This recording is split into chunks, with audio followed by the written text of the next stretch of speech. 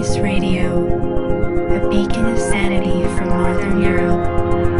RedIceCreations.com. Hi, friends, welcome back to Red Ice Radio. This is Henrik Palmgren, and we are all about bringing attention to hidden knowledge, forgotten wisdom, and things that most people have no idea about. As always, we're very glad and fortunate to have you with us, listening and willing to learn something new. Today, we have an interesting program for you with Marty Leeds, who discusses the seemingly overwhelming subject of mathematics and how it unlocks an understanding of many other subjects that are to be found in his book Pi, The Great Work. And this is what we're going to talk about today. He claims spiritual doctrines, mythology, and folk tales are encoded with mathematical knowledge. His book presents us with the idea that all of the math in the universe can be done using numbers 1 through 9. Stay with us for much more. Marty Leeds, it's good to talk to you. Welcome to the program and thank you for uh, taking the time talking with us here uh, today, Marty. Oh, thank you.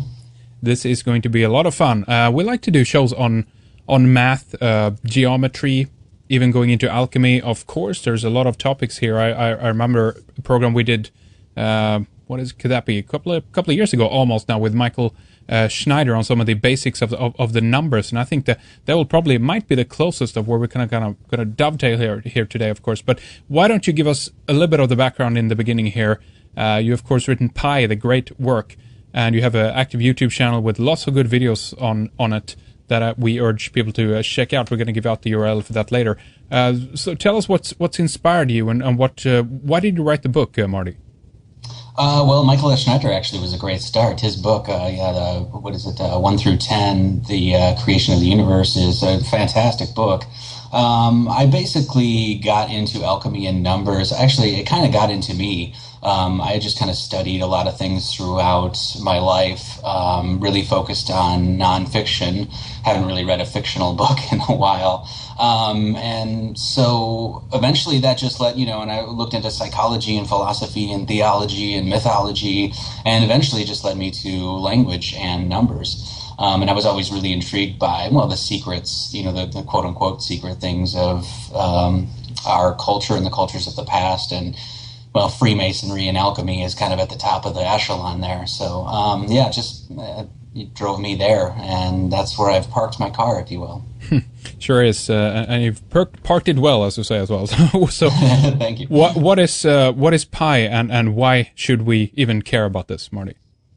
Um, pi is just the most elusive number in mathematics, and it's one of the most important numbers. Um, and when I got into pi, um, I, I, was just intrigued by number one. It starts with a three, and a lot of the you know, well, number one, you have like the Father, Son, and the Holy Spirit, and in Hinduism you have Shiva, Brahman, and Vishnu, and this Trinity just seems to be very important. And so it it, it intrigued me that pi starts with a three, and then it's this you know, quote unquote, irrational transcendental number that just goes on into infinity. And yet it's all it is is essentially a circle. And so this just really intrigued me. Um, and then, you know, slowly I got into things like uh, gematria and stuff like that. And I was just wondering, you know, is all this stuff tied together? You know, um, in the book I mentioned that so many people of the past say that numbers are it. You know, it's like Galileo says, it's you know, mathematics is the language that God wrote um, the world in, essentially. Um, and so, yeah, I was just drawn to pi that way. Um, yeah, I guess that's all I can really say about it. Mm, no, it's it's really interesting. Well, uh, what what is it that we hear about the fact that we need to, you know, we're trying to crack pi all the time? It's it's like it's a it's a mystery that is elusive. We can't get to it. The more we try to figure out the numbers, I, I don't even know personally how many numbers they're up to now. Was it in millions? Uh, do you know? I have no idea. Yeah, as soon as it gets past like a million, I'm like, okay, we've gone too far. so, yeah, and the idea of cracking pie always intrigued me too, because how I came to understand it is that pie is actually a representation of um, the creation of our universe because the circle is one of the most you know holy revered symbols of all time really. You know so to me it was like it was almost like a riddle and you're not supposed to crack pi and what you're supposed to do is put it back together is try to understand the number from the very beginning as 3.14 and then you know go on and try to understand the numbers as they relate to each other as they unfold into infinity. Um, and so heaven in sacred geometry was always known as a circle, as a three, and that immediately was like, oh, okay. Well, if the first thing in creation was, as you know, like uh, the alchemists know, as like a philosopher's egg, or you have the Hiranyarva in Yarba in the Rig Veda, which everything was encased in an egg, then the diameter is actually the cracking of that egg. It's the cracking of pi. And so the riddle to me was like, okay, well, don't crack pi, try to put it back together. You know, so try to link yourself back to the birth of creation. Interesting. So uh, there's a lot of different, um, you know, aspects and, and, and the way you've you've you've approached the subject matter. Uh, really interesting in the book the way you kind of lay it out in, in, in different types of yeah well you know kind of mysteries that we know about things like uh, obviously squaring you know the circle trying to find the mysteries behind the number the the, the number you know one, i don't know do you look through 1 2 10 as well kind of like uh, schneider did in that sense? I think you have a little bit more uh, kind of elusive mysteries if you will in there as well like 666 and, and stuff. But do you do you cover from, from 1 to 10 the basics yeah, the first like 39 pages actually, um, which Christian equals 39 in this cipher that I'm sure we'll talk about here, but which is really interesting. I didn't know that when I wrote the book. But yeah, the first uh, few pages actually uh, go into um, pi, number one, what it is, the ratio of a circle's circumference to its diameter. And then I actually look at each of the numbers in the base 10 system, you know, and focus on the Ennead, which is the one through nine essentially um, and the qualities of those numbers and the geometrics of those numbers. And, you know, as I understood it, that these, you know, one through nine and a zero basically give you the cosmic principles of the entire universe. And uh, this really resonates with the Greeks and the Egyptians because they both had the Ennead. And then you also have like um, the Christian angelic hierarchy is uh, nine stages and three levels, you know. Um, and then you look at the, the, the Great Pyramid at Chichen Itza, and that's a nine level pyramid, you know. And so we you, I just kept coming back to this fact that it's nine, um, and so and then nine and a zero. And when you go uh, one, two, three, four, five, six, seven, eight, nine, and you get to ten, all you've done is go back to one and add a zero. And what's really interesting is one is an odd number and two is an even number three is an odd, four is an even. Well, when you get to nine, right, the next number is 10. And so if you add one plus zero, well, 10 is an even number. But if you add the one plus zero, now 10 becomes an odd number. And so this odd even, Shiva Shakti, Adam Eve kind of thing, goes throughout the rest of the number line into infinity. And so that was really intriguing to me that, you know, in every uh, beyond the Ennead of nine, you know, the the principles of nine, there's an odd and even in each number, and I found that very um, alchemical, if you will. Indeed, it's. Uh, I think we should talk a little bit about uh, some of Mark Rodin's work. That's been a seems to be a, a big influence uh, on you. Is that correct? Uh, yeah, that was, um, you know, I had known about like decimal parity and theosophical addition, where it's basically you take like a number like 46 and you add 4 plus 6 equals 10, and then you add the 1 plus 0 equaling 1, you know, breaking it down to any number between 1 through 9. And so I'd known about this for a long time. I think in, I first heard about it in um, Helena Blavatsky's work.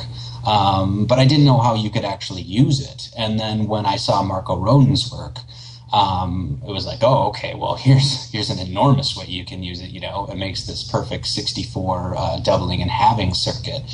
And so, yeah, it was it was very influential, and the, the symbol itself, the fact that it looks like an infinity sign, and you know, 64 is known as a number of infinity. Um, it just really intrigued me. It also looks like angels' wings to me. That's the first thing I thought. So uh, immediately that brought me right back to spirituality and religion, and the fact that he got this symbol through visions in meditation and through um, his adherence to the Baha'i faith. And so that was very intriguing to me as well. It seems that we can pick a lot of um, symbols out of the uh, the patterns that that, that arise in, in mathematics. So in a sense, we might look at the numbers just as as numbers, but in a sense there is more there. We can begin to add, uh, you know, visual aids, obviously, to, to, to understand the numbers, but but also to give them, in a sense, almost more uh, meaning. We have we have so many different things that arise from it. You know, as you mentioned just here with with Rodin's kind of, uh, you know, the the symbol that comes out of the vortex-based math that he, uh, you know, talks about. We have, you know, the Mo- Mobius strip uh, you even have a section in the book where you detail the eye, you know, the Egyptian eye of Horus, you know, and I've always looked at that one, by the way, as well, and quite not understood what people kind of mean? Uh, you know how you can find or, or, or, or get the math out of a symbol like that. Is that something you could talk a little bit about? Yeah, absolutely. Um, well, first off, numbers are not only quantities but qualities, and they also have geometric shapes. So when you look at you know certain numbers coming together to create ge- geometry, you're actually creating symbols and you know archetypes and things like that. And this these are languages. We don't understand that. Most people don't understand that these are languages. Symbols are languages. They speak to you subconsciously in a, in a subtextual way, and numbers do the same thing. Um, you know, uh, people are attached to numbers in a lot of ways, and we use numbers every single day, and a lot of times we don't even recognize it. So, to me, when I started getting into numbers and started mirroring numbers and understanding their you know qualities and essences and all of that, it really started speaking to me uh, on a level, you know, and according to a lot of people that mathematics is the language of God, well, then it's like, okay, well, is God speaking to me then? you know, I, I, mean, that's, and I got a, very spiritual, if you will, aspect from it. I mean, um, so it's it's just going on from there. It's yeah. almost like I learned two other languages, you know, symbols and and mathematics, geometry, if you will. Well, I mean, a lot of people uh, talk about that, and I think it's a pretty good, you know, point. It's an interesting point about where is God in all of this? We, we're we're in a sense we end up here. Uh, we don't really know where we come from, uh, you know, except if we look at the fact that we have the ability to examine those these things. But you know, as far as we know, when we come here, we don't know squat. It's, we're just you know here we are, and and what the hell is going on, kind of thing. But in a way, are you saying that God actually is speaking to us, but we're not paying you know close enough attention, basically? Um, yeah, I don't want. I'm I, I, guess I can say this is ultimately the conclusion that I've come to with a lot of trepidation, mind you, is that we are God. We are God looking at itself. Um, that we are an undivided section of the whole thing. And unity has been such a prominent idea and concept, and, and it is the circle as well. I mean, a circle encapsulates the most amount of space with the least amount of effort. And so, this idea of unity and monotheism, the reason it's monotheism is because there is a wholeness and one, you know. Well, even the Eye of Horus, as you just mentioned, was called the Wedjat, and that means whole one. And so, what uh, Alan Watts has this great quote where he says, um, the further and further we look out with our telescopes, and the further and further we look in with our microscopes, the larger and larger and smaller and smaller the universe has to become in order to escape the investigation because we are the universe looking at itself. We are God looking at itself. And I think this is, as far as I can tell, the secret teachings of all ages. It's what the mystics and magi's and people that sought enlightenment in the past finally came to. And this is all over, like the Corpus Hermeticum and, you know, the book The Holy Science and a lot of these things, you know, or, you know, be as Christ, if you will. So why do you think there is that so many mathematicians miss this? Or maybe they don't all, all, all do. It might just be that they're, they don't talk about it and certain people certainly stumble into it. But what is the, what is the component, do you think, that makes you know your work different in that way that you you take it a step further than most people who work with numbers actually uh, do. What is that little extra bit if you will? Um, well, going back to Marko's work, um, this idea of theosophical addition or Pythagorean addition, you know, it's called a bunch of different things, digital root, it's not accepted by modern mathematicians um, at all. In fact, when I first came across Marko's work, I, I spent a uh, like literally probably like three weeks to a month figuring out if the guy was full of crap. Yeah. You know, so I, I, I sent it to some of the mathematicians and Eugene actually. So I was like, hey, what do you guys think of this? You know, some of the professors, and they basically wrote me back saying that well, it uses numerology, so it's defunct. It, it doesn't mean anything. You know, and I was I was just almost like flabbergasted by this because I'm not a mathematician. You know, I, I, really even don't think I am a mathematician anymore, a math magician maybe. but um, so this really it just dumbfounded me. I was like, well, how can something so simple and beautiful not be correct? You know, because at the heart, nature is simple and beautiful. Nature's going to find the simplest and easiest way to do something. You know, um, when you look at all of the um, theories that are, permeate our math, they're all simple. A squared plus B squared equals C squared. E equals MC squared. You know, the, the equation for fractals is essentially Z equals Z squared plus C. You know, uh, the Fibonacci sequence is just adding the number previous to the number you added. You know, the zero plus one equals one, one plus one equals two, two plus one equals. This is all simple stuff, and so I see mathematics as very complicated. And most people do. It's very and we're taught that it's very complicated you know that it's very cold and dry and it doesn't have any relationship to our life. And so that was the first thing that caught me was that okay pythagorean addition or theosophical addition is legitimate absolutely legitimate. And all of these mystics used it before so that was you know that was the one thing that really caught my eye. And the other thing is that you constantly have this idea of everything in nature is mirrored you know in uh, the principle of mechanics it's called the principle of parity i believe. And or, or um, what you have it in the, the scripture as above so below on earth as it is in heaven. Right. Earth is a reflection of heaven and heaven is a reflection of earth you know and then you can see this everywhere you can't anything that you look at has this duality to it. You can look at the human body or a leaf or a bug or you know the earth itself as a northern northern hemisphere and a southern hemisphere. So this idea of duality is in everything you know. Tonight it is going to be night and tomorrow it's going to be day and that's just the way it is you know. So i started looking at numbers as in like okay the number 32 is also in one way the number 23 so, you know, I just mirrored that number and then started looking at things like that. And then I actually did this with a number line and, and, and I just kept going with it. And to me, it seems very legitimate, almost as if there in every matter there's a spirit. So maybe the matter, the number is 32, but the spirit is 23 if, if, if, you get what I'm saying. So there, what you're saying is that there is a relationship between all the numbers as well. You can't just uh, once you look at one one number set, if you will, this is going to have a reflection in some way into other numbers. Yes, yeah. I mean, I think the numbers work off each other in magical ways. I mean, I don't have any other word for it, you know. Um, and I think Marko's work shows that. And you know, there's definitely other things um, that I put in the book that I think show that as well. For sure for sure. There's so much to the this uh, subject, of course. What, what, why don't we talk a little bit about the the language as, aspect, which is very, uh, very, very interesting. It goes into uh, gematria, of gematria, of course, and, and you've even uh, you made a couple of videos about this specifically. I looked through the uh, the English alphabet video. Uh, very, very mm-hmm. interesting. T- tell us a little bit about this and, and break it down for someone who, who are not familiar with with, the, with this particular approach, Marty. Well, um, when I started getting into gematria, gematria, whatever, however you say it, um, I was ultim- ultimately I was like intrigued. I was like, okay, well, the you know the Hebrews and the Kabbalah, they you know, this is the way it was done. Gematria was how they understood this. And so I was, you know, I was just automatically, I was like, hmm, I wonder if there's one for the English alphabet, you know?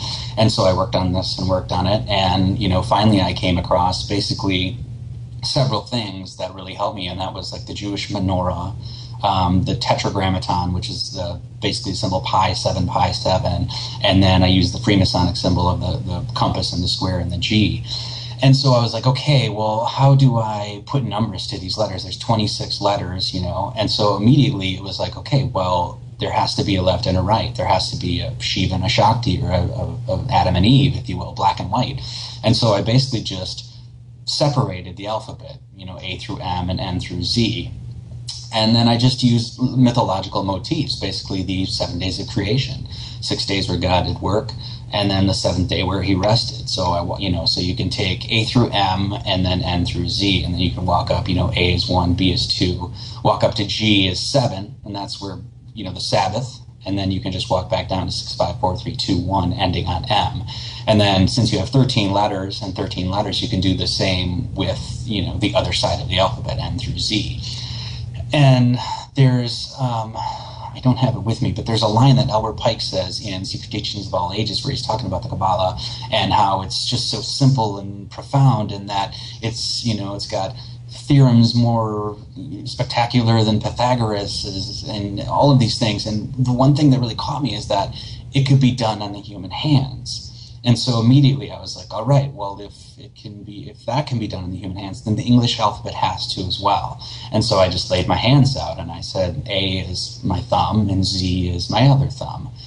and then you know you have 12 sections of your four fingers being you know b c d e f g h i j k l m and then n through z on your right hand.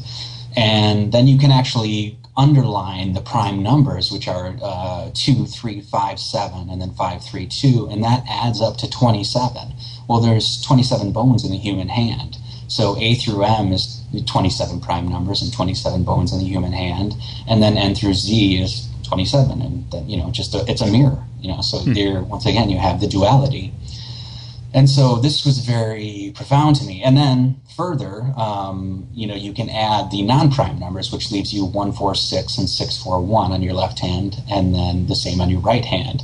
And 6 plus 6 is 12 4 plus 4 is 8 and 1 plus 1 is 2 and 12 plus 8 plus 2 is 22 and this leads you right to the g and the 7 so 22 divided by 7 is pi. So you have pi in your left hand and pi in your right hand, and that comes together to give you the tetragrammaton, or pi 7, pi 7. Pi begotten by 7 and pi begotten by 7. It's the holy name of God. And I found this extremely intriguing.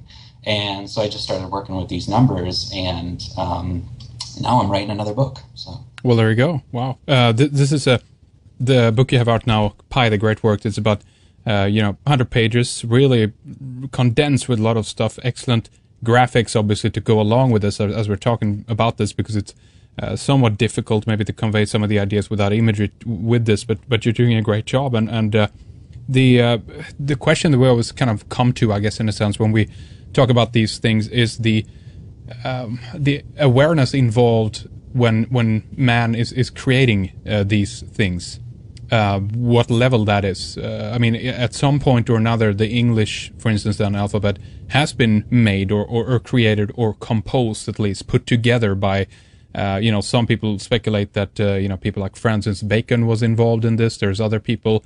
Uh, it certainly has been around, you know, longer than that. But there is a, when people come together and do these things, what do you think at this point the level of awareness is within that? Do they know what they're doing? Do they base uh, their creations, so to speak, on these ratios, on these numbers, on these rules and, and laws, in a sense, that you're talking about? Um, yeah, ultimately, I don't have an answer for that because, like, I've I've started researching, like, where did this stuff come from? You know, where did gematria come from? Where did languages come from? I mean, as of right now, I think there's like six thousand languages that are spoken on the planet. You know, and right. so where do these things come from, and why so many different languages? And really you can't trace back to any one particular culture that you know created the language and assuredly did it you know? It's, it was almost like it's evolved just like everything else you know? And so yeah i guess i just don't have an answer for that. I mean if somebody did create it damn were they smart you know? Yeah, i yeah. mean they really knew geometry. They really knew symbol. They really knew the mathematics you know?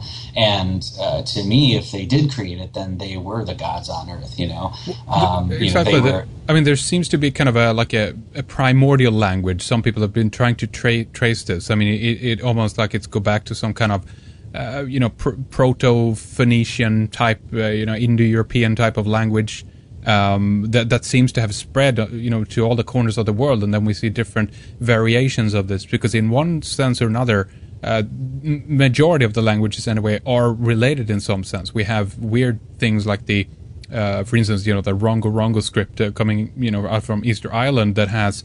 Uh, seems to have in the symbolism of the language itself, the the shapes of each letter uh, has clues about uh, you know, some people are attracted to, to, to even like, uh, you know, plasma type events in the heavens. That these are, there are clues in there, um, which is just amazing. If, if, if that's true, that means that it actually has a, a reflection in, you know, the letters themselves has a reflection in the nature, something that was visible and, and observable. Have, have you heard about that, Marty? Um, yeah, I mean, I, def- I haven't heard about that particular one, but you know, definitely looking into this, it seems like there is a base of all languages. You know, um, that there's certain sounds like ah and ooh and I mean even when you speak, you know, what's the when you know when we're trying to think of what we want to say and we're like um um right? Well, yep. a u m is um right? You know, and yep. it starts with an a as in an alpha. You know, so I think that certain sounds and vibrations actually have, and we know this from uh, cymatics that they actually have um, geometric qualities and therefore have numbers that we can assign them to. So when languages are evolved or born or uh, you know however they come to fruition it's almost like they're following a fundamental pattern. And i equate this to well something as simple as the fibonacci sequence you know.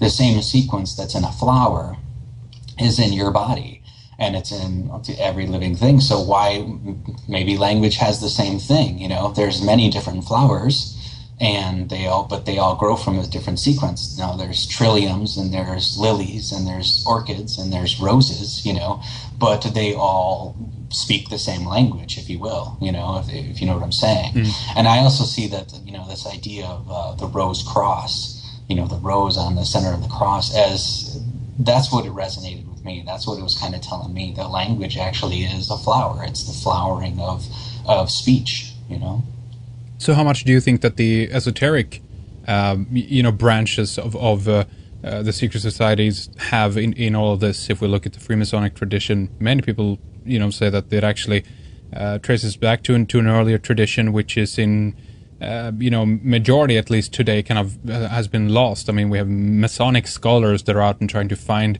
uh, the roots and, and, origins of their own traditions that they adhere to, which is kind of strange in a sense. But um, yeah. the Rosicrucians, then, for instance, there too, we have the Rose Cross.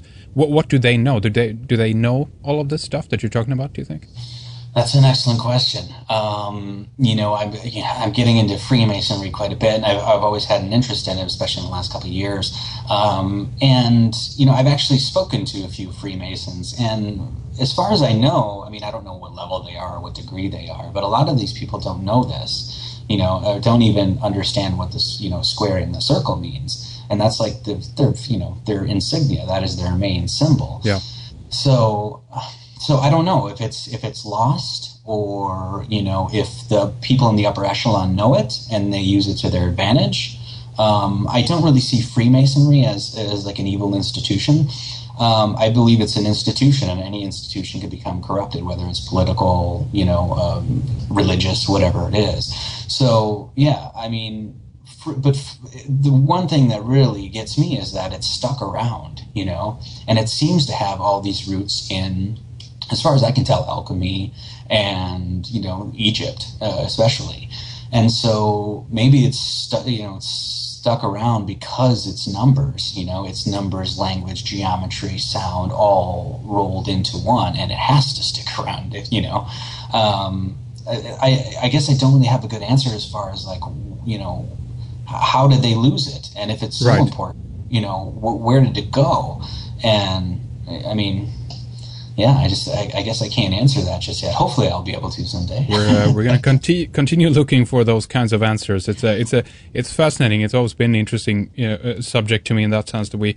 Uh, we have the echoes of the of, of some kind of earlier tradition in a sense it feels like and, and for some reason uh, it's been it's been lost and it's kind of been waxing and waning almost in a sense throughout history as well. It comes and goes. It, it, gets you know stronger in a sense in certain periods, and then it kind of uh, dies down a bit. We have a renaissance, and then it you know di- dies down a bit. And and this seems to you know go back to the Hermetic tradition that you mentioned earlier as well. That this is uh, something w- that is contained within there, and people can understand parts of the wisdom, perhaps, but even those small little tiny parts help incredibly to to advance humanity to to a new level of understanding. That's amazing to me.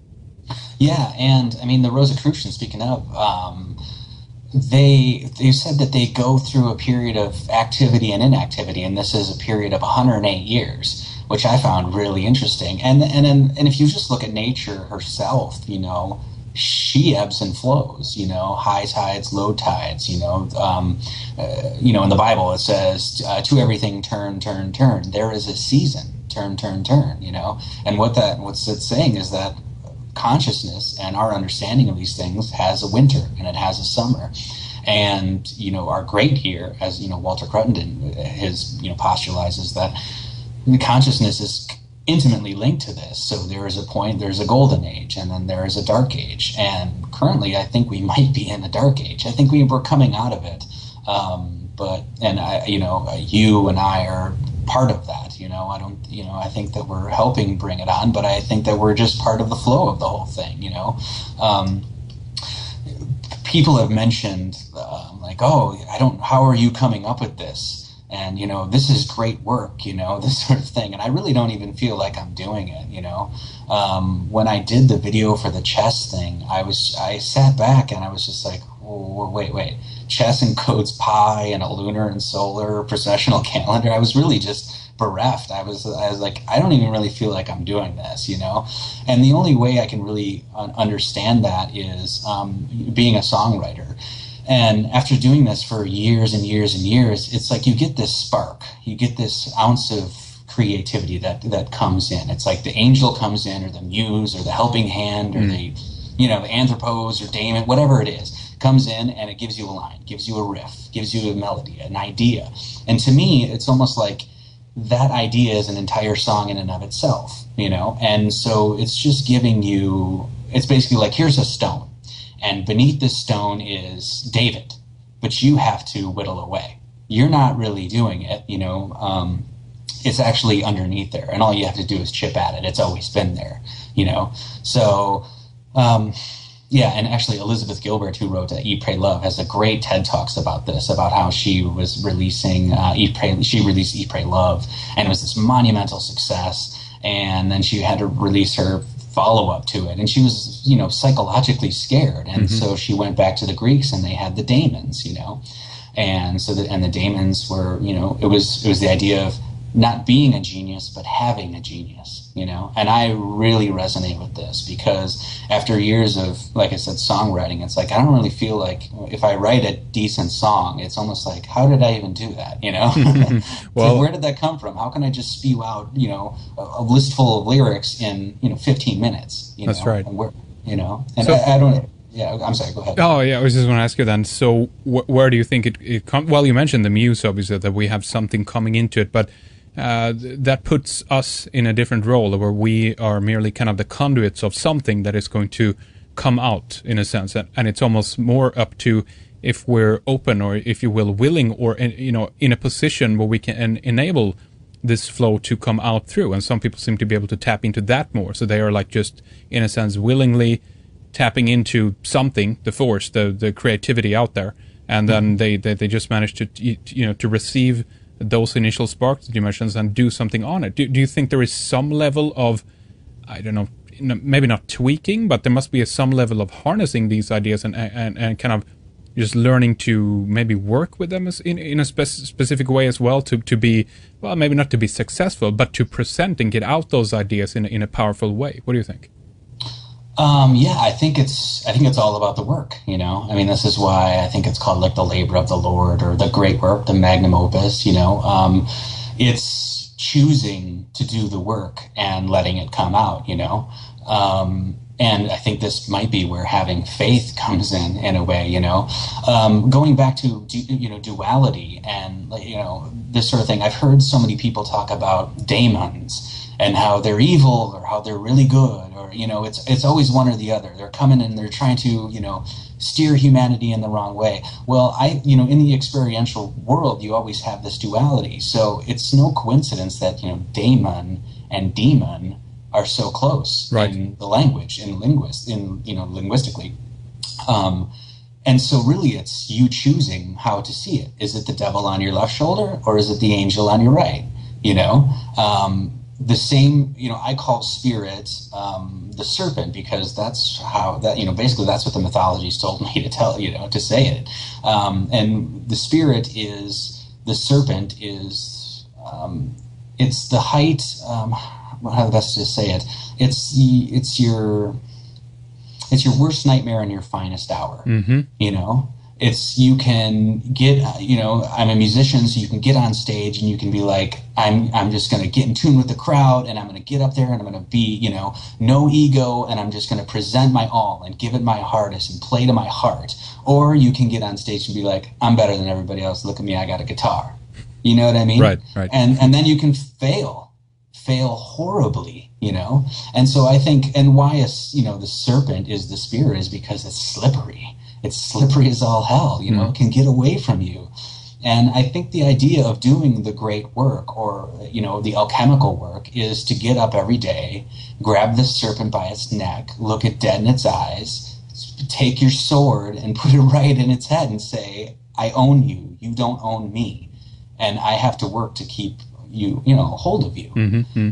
And I, I, I, you know, I think that mythologizing this stuff is so awesome. You know, like Right. you don't even have to believe in like any god or anything like that to be like, man, you know, World of Warcraft is awesome. You know, you know that sort of thing. People can get into these things. You know, princesses and dragons, and demons and angels and stuff like that, and they, you know, they could be atheists, but for some reason, it really resonates with us. Yeah, it attracts so many people from all walks of life. Yeah. Yeah, absolutely.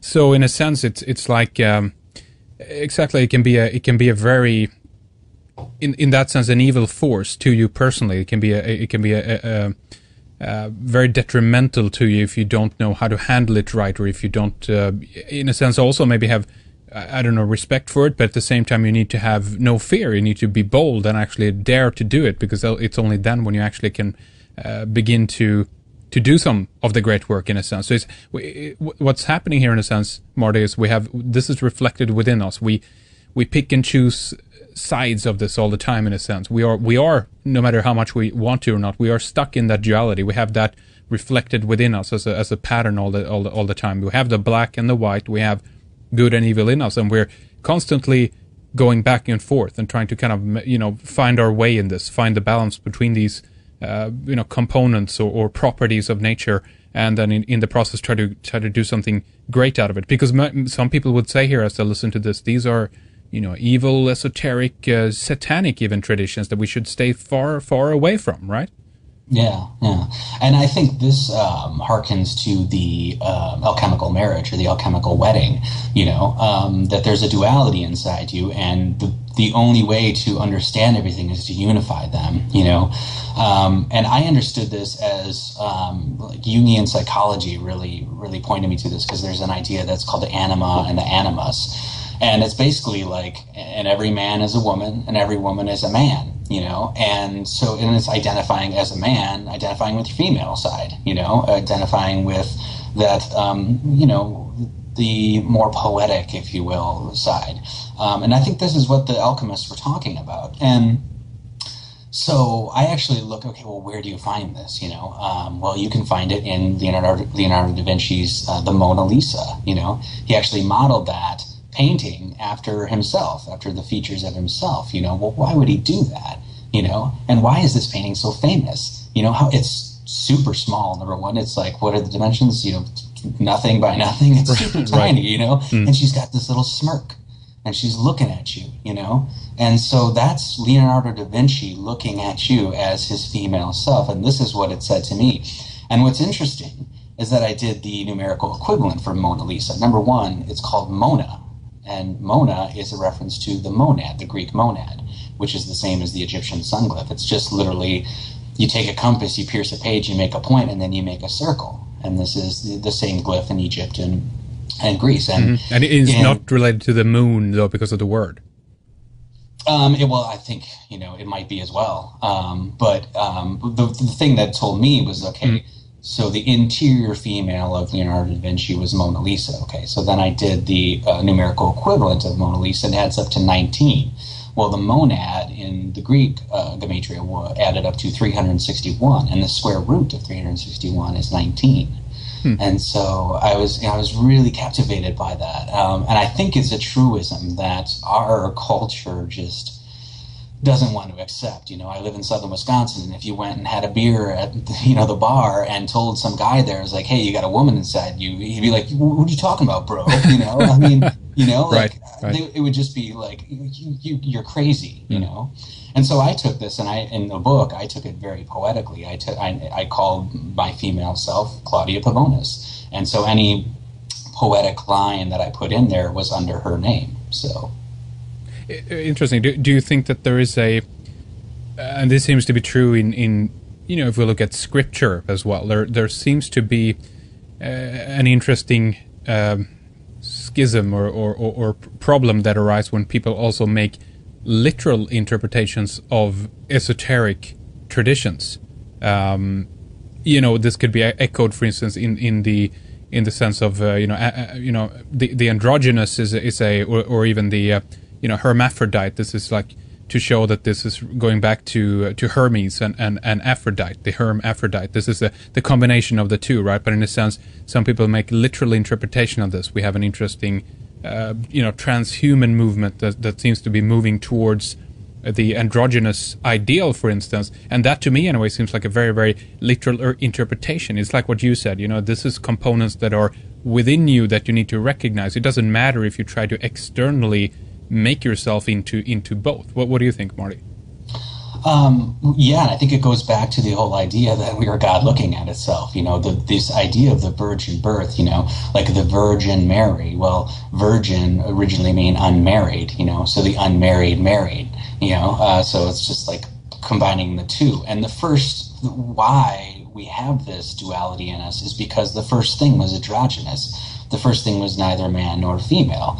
And this first thing cracked, you know, if you will, and created the two sides, created the Garden of Eden, you know, or when Adam and Eve were casted out of the Garden of Eden, you know. And so this is why I think that we, this is why I think this psych, psychological idea is so resonant in, well, in me and I think a lot of the people in the past, you know, and exactly, I mean, Hermes, I mean, it tells you right there, he was a hermaphrodite, yeah. you know. Um, so what more can you say? He obviously had a female aspect inside him. And I, you know, just like I said, I think psych- psychologically this does wonders for oneself. I mean, it's done wonders for me. You know, it may not make me popular at that bar that I was talking about, but Well, maybe that's so, not uh, the most important thing in the world either. So, yeah, exactly, yeah. right. Yeah. Well, it's exactly it's about your you know working on yourself uh, in that sense. What, where you want to head, where you want to go, what do you want to do in your life in a sense, and how much of it do you want to understand? Because this is one one idea that came to me earlier, or, or as you were talking about this. Uh, that the fact that you know someone like you and, and, and me who have you know at least a basic understanding of these things can see these patterns in uh, you know, in, in the reality around me, in, in even some things that man makes, but primarily actually in, in, in nature, the patterns that is in how a tree grows or, or, you know, different, you know, ratios that is simply there. But most people, if we just go back to that for a second, still does not recognize that, that, that they are truly living in, in a bubbly, a bubble, totally, you know, cornered off from the rest of, of uh, reality in a sense. So why is that? Do you think that if we have these patterns within us, why don't we why don't why don't most people see it or, or, recognize it and the fact that we miss it while other people just are on it right away? What do you think? Um, well i'm still trying to get it you know? I don't really feel like i have it or anything like that that's for sure you know? I mean i think everybody has their own path um, that they that they take in their life.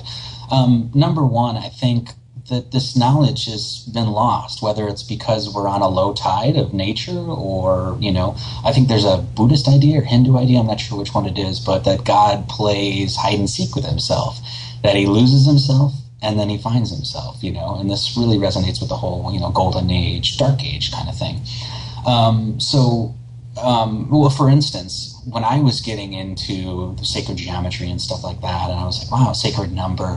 I remember I had this friend, he I was reading the quadrivium and he's like, Does that say sacred number? Like, are you kidding me? You know? Hmm. And it's I mean, so many people do not even know about certain things like this that do actually doing geometry can help you understand as far as I uh, see or am concerned creation, you know. Um, and even myself, when I came across the Tetractys, I was like, "There's a there's a prayer to the Tetractys." I was like, "What? your prayer? You're, you're having a prayer to a mathematical idea? That seems ludicrous to me." But now it seems absolutely perfect in a way. It seems completely legitimate. Um, so we've lost a lot of this knowledge, and the fact that um, you know our churches are teaching the fact that this is a, you know the Bible is a literal document and to me, the people that wrote the Bible wrote it in such a way that we would never think this. You know, um, I really like the comedian Joe Rogan.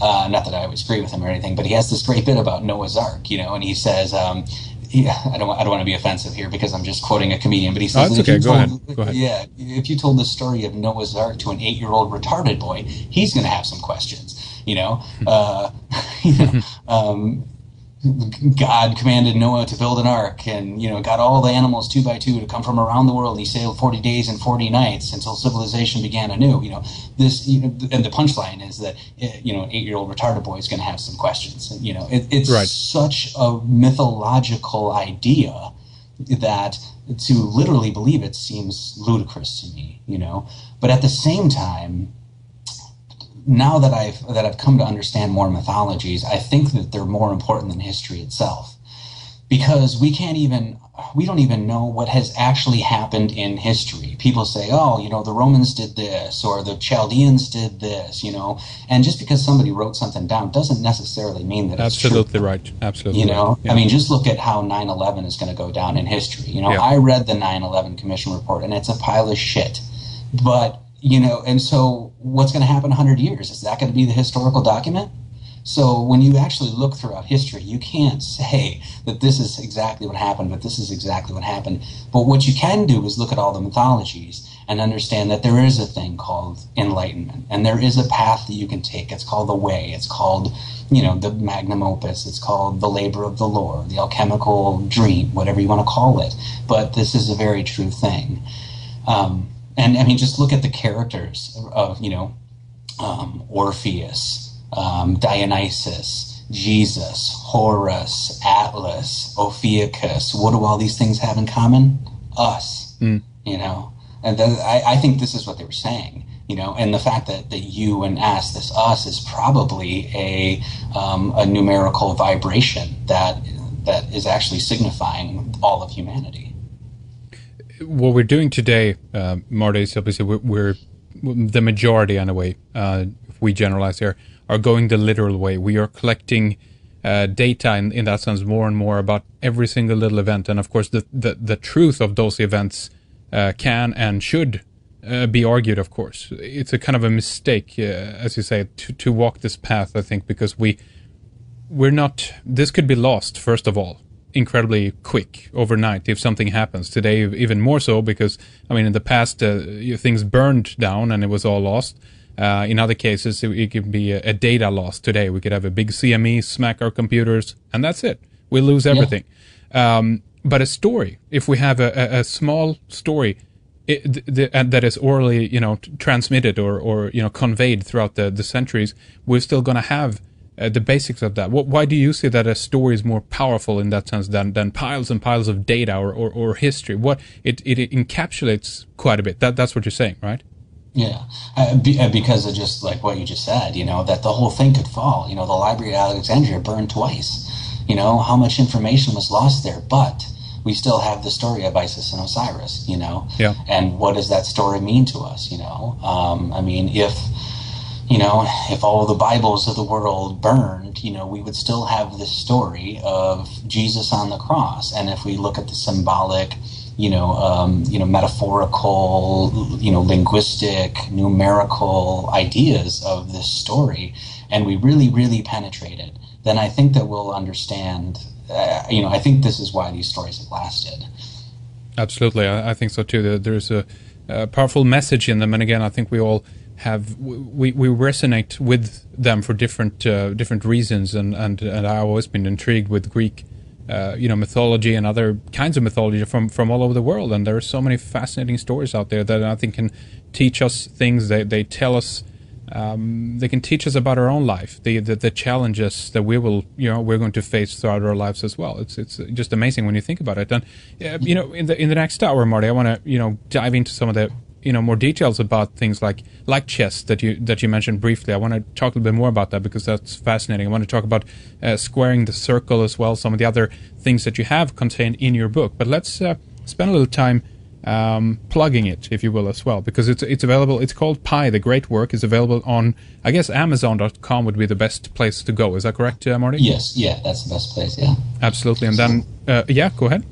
Um, actually, I, we, I just thought of something that I was that I came to like about three, four days ago, and we were just talking the last thing about Greek civilization, you know, and um, one thing I came to was the idea of Apollo was the hero at, at Delphi. You know, he was the guy that slayed the serpent dragon Typhon or whatever, right? And so I was like thinking about our language, and I was like, I apologize, you know. Well, break that down. You know, what is jize? Jize is a lot like guise or a veil or a mask you know, and Apollo is, of course, the hero there. So, what are you saying when you say, I apologize? You're saying, I screwed up. I made a mistake. I was judgmental against you. You know, I did something that I shouldn't have done, but I am not that person. I am really Apollo in disguise. That's what you're saying, you know, things like that. And I think it's embedded in our language. And the fact that there's numerical equivalence to it, I think, can point to a lot of different things. Um, for instance, I'm going to just say this real quick. Uh, Sphinx equals 24, Bishop equals 24, Egypt equals 24, Earth equals 24, Israel equals 24. You know, how many hours in a day are on Earth? Mm. You know, 24. You know, Israel is heaven on Earth. You know, Egypt was heaven on Earth. You know, so um, yeah.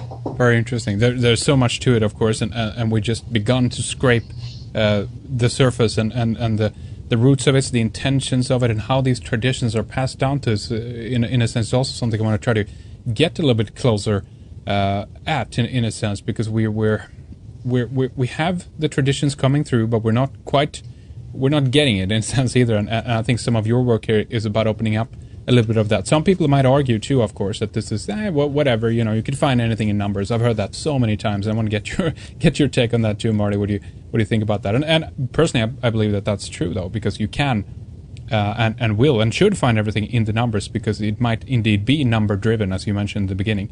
Um, what is the main website to give out here as well, Marty? Is it your YouTube channel? Yeah, um, right now I have a, I have a website that I'm working on. It's just not going to be up for a little while, just because I'm kind of busy right now. But um, I'm definitely working on another book right now, and it's going really well. And yeah, I do have a book uh, available on CreateSpace and and Amazon.com. But yeah, and I will be posting more videos. But you can just uh, visit my YouTube channel, Marty Leeds 33.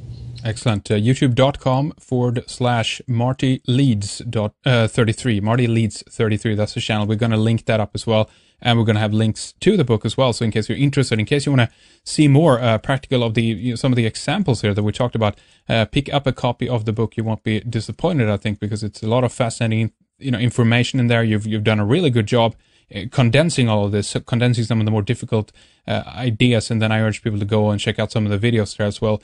Uh, excellent, uh, you know, aid to uh, to to present some of the things that are already in the book as well, Marty. So great work on that. Uh, stay with us, and we'll continue with more after this break. In the second hour, we explore what would change if people truly understood the sacred aspects of math, mythology, and esoteric teachings. Marty says that everything in math points us to love. We have an unconscious knowledge of numbers and our connection to them. Then we'll talk about the esoteric side of squaring the circle, 666, the number 64, and more. Leeds tells us about the symbolism found in the game of chess. Marty also mentions the connection between synchronicity and numbers. We'll talk about how numbers speak to us and why. Later, we talk about the holographic universe made up of a matrix of numbers. Marty discusses free will as choices within a perimeter, and Leeds ends the hour sharing a vision he had of the electric serpent. To listen to the next hour, subscribe for a membership with Red Ice Creations. All the information is available on the website redicecreations.com. Much more is coming up in the next hour that you shouldn't miss. With a membership, you'll also get full access to all of our archives, tons of material for you to study, learn, and get excited about things that you can share with your friends, your family. And I think one of the most important things that we can do right now is to learn as much as we can to become wiser and to attain true understanding and wisdom. Next up on Red Ice Radio, we have Sterling Allan for a free energy news update. Some exciting developments on this front. After this, we have Christer Johansson joining us to talk about the horrible story of the kidnapping of his son Domenic by the Swedish state. Then we have Louis Turi, Matt Stein, Stefan Molyneux, Desiree and JJ Hurtak, William Davis, Mark Weber, Mary Sean Young, Kurt Lindahl, Tom Horn, Jay Weidner, Dean Clifford, and Jordan Maxwell, to name a few. But stay with us now as we continue to discuss Pi, the great work with Marty Leeds, coming right up after this break.